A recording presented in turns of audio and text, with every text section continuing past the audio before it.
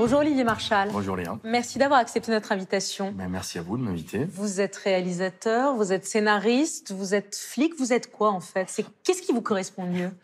Non, moi j'ai fait flic en fait à cause du cinéma, à cause de Serpico, de Ciné Lumet.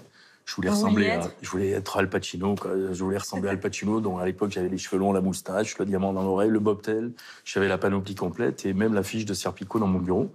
Et d'ailleurs on m'appelait Serpichal, c'était mon surnom, Serpico Marchal. Serpichal? Voilà, Ah c'était mon surnom.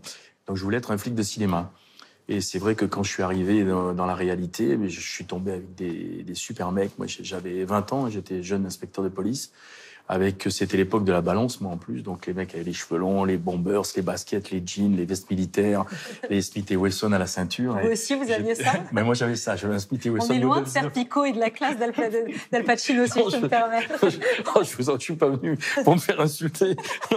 non, j'étais j'étais un petit flic français, euh, euh, mais très fier de l'être. Quand j'ai eu ma carte de police, ça a été, j'ai appelé mon père tout de suite. Je lui ai dit, allez papa, j'ai la carte et tout. Et euh, j'ai eu la chance de travailler avec des super super mecs, mais et la malchance de démarrer par la brigade criminelle. Euh, Pourquoi moi, la malchance? parce que c'était les crimes de sang, c'était c'était les, les, les homicides, les- ce qu'on appelle les crimes violents, donc euh, tout ce qui est homicide, viol, affaire avec les enfants et tout. Et vous n'étiez pas prêt psychologiquement Non, à non, affronter tout. ça? Quand vous arrivez un soir de Noël de permanence et vous avez le- en banlieue euh, le mec qui est par terre avec le fusil de chasse, il s'est fait sauter la, la, tronche et vous montez, il y a sa femme qui est morte, il a tué le chien, il a les deux enfants qui sont en position fétale, il les a abattus à bout portant. Vous êtes à 21 ans en train de faire des constatations de tout ça, un soir de Noël, vous dites euh, la vie. euh, c'est ça, quoi. C'est, euh, c'est. et Après, vous rentrez chez vous. Ben, en une affaire, vous êtes déjà plus le même mec. C'est-à-dire que Noël, ça sera plus jamais pareil. Les enfants, ça sera plus jamais pareil. Et moi, j'ai le souvenir, voilà, je revois les, les, les, les personnages de Walt Disney sur les tapisseries. Je revois tout ça, quoi. Et, et c'est les choses qui me, ouais, qui me hantent encore, quoi. C'est, c'est, c'est pour ça que mes films, on peut me reprocher parfois d'être très noir dans ce que je raconte et tout. Moi, j'essaie d'être leur porte-parole comme je peux parce que c'est des gens qui font le métier avec amour. Et quand aujourd'hui, vous voyez qu'il y a des jeunes bac plus 5-6 qui décident d'être flics, aujourd'hui, eh ben ça, c'est courageux. Vous dites j'aurais mal tourné si j'avais continué à être flic. Je pense que. Vous seriez devenu quoi? Euh, Alcoolique, mais ça, je le suis déjà un peu.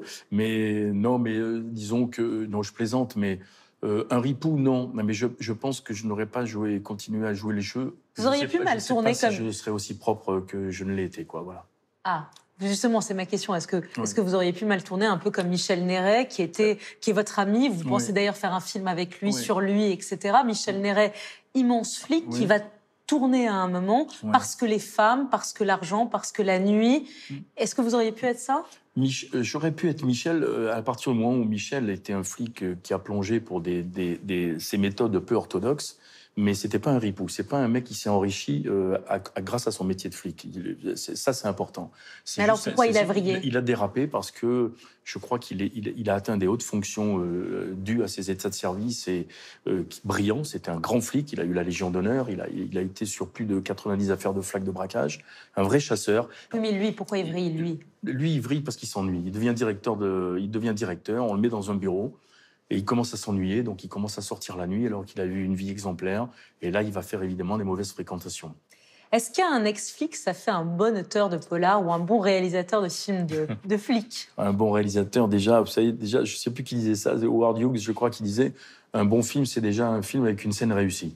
Alors, je sais pas, moi, dans mes films, j'essaie de voir euh, s'il y a des scènes cultes ou réussies. Mais c'est vrai que quand je lis des auteurs euh, comme Hugues Pagan, comme euh, Norek, comme Christophe Gavin, qui sont tous des anciens flics, il y a un plus. C'est-à-dire que C'est quoi C'est le côté réaliste, crédible le, le côté humain, c'est-à-dire il y, a le- il y a la désespérance du flic et en même temps il n'y a, il y a pas d'héroïsme dans, dans, dans tous ces romans-là. Il y a juste des gens ordinaires qui font des choses extraordinaires et qui le font comme ils peuvent et qui, qui ont la foi dans leur métier. Mais c'est pas un peu un c'est pas un peu un cliché d'avoir toujours le flic désabusé, malheureux dans c'est tous ce les qu'on- films. C'est ce qu'on me reproche parce que moi j'étais comme ça. Voilà. Après j'ai admiré ce métier, j'étais hyper fier d'avoir été flic. Je ne regrette rien, ça serait à refaire, je le referai. Mais j'étais entouré de copains qui étaient comme ça. Parce que moi j'ai fini à la nuit et en brigade de nuit on était un peu les cas sociaux. C'est-à-dire on travaillait la nuit, on avait tous ces problèmes de divorce, de séparation, de, de- des problèmes de fric. Olivier Marchal, vous, vous filmez les flics Ouais. avec amour et empathie Ouais. dans vos films. Ouais. Vous filmez aussi les voyous avec amour et empathie. Au fond, c'est c'est quoi chez vous? C'est la part sombre, la marginalité? C'est le fait que c'est à la fois le bien le mal dans les deux? C'est Qu'est-ce qui vous touche dans... Bah, vous avez tout dit. Vous savez, il y a un dicton qui dit dans chaque flic, il y a un voyou qui a mal tourné. C'est vrai que flic et voyou, euh, je parle des anciennes générations de voyous, euh, euh, on s'entend bien. Il y a un rapport, je trouve, tout le monde est fasciné par, par les flics et les voyous, et je pense que c'est l'éducation, je pense, qui fait que certains vont du bon côté, et, ou la société qui, qui fait que d'autres, voyez, dérapent, comme Momon Vidal, le chef du gang des Lyonnais. Moi, quand j'avais 20 ans, il y avait sa photo partout. Euh, chef du gang des Lyonnais, on l'appelait Momon les yeux bleus. C'était un playboy. Euh, il plaisait aux femmes. Il, amenait ses enfants à la crèche. Après, il partit sur un braquage. Enfin, voilà. C'est les flics aimaient bien ce mec-là parce que c'était un gitan et le mec, il avait des valeurs. Et Momon, quand je l'ai rencontré, ça a été un grand moment. Et, et, et Momon, en fait, pourquoi il devient voyou? Il voulait être garagiste parce qu'il adorait les voitures. Et quand il est gitan, il fait un vol de cerise en rentrant de boîte, il est bourré. Et quand les gendarmes vont le chercher sur, le, sur le, ce qu'on appelle le terrain, donc au campement, euh, sa mère, lui, il assiste à la scène. Elle sort un porte-monnaie, elle faisait des paniers sur les marchés. Elle dit écoutez, il n'est pas responsable, ils ont fait une bêtise, mais je, suis prêt à vous payer le, double ou le triple. Et le, gendarme lui met une gifle. Et la mère de mon tombe devant lui. Et de ce jour-là, il décide de devenir voyou. Donc après, il y a des voyous qui ont des circonstances atténuantes, voyez, des parcours qu'on peut comprendre. Et... En fait, ce que vous n'aimez pas, c'est les gens normaux, quoi. Vous aimez les on marges On s'ennuie, non, avec les gens normaux Non, je crois qu'on s'ennuie beaucoup. Ouais, j'aime bien les gens marginaux, j'aime bien les gens euh, qui ont des vies extraordinaires. C'est quoi un bon polar? Ah, je sais, Là, c'est une, une, bonne question, je sais pas. C'est. Euh, alors attendez, c'est quoi un mauvais polar? Un mauvais polar, c'est. C'est euh, alors au cinéma ou en littérature? Les deux. Euh... De mon capitaine.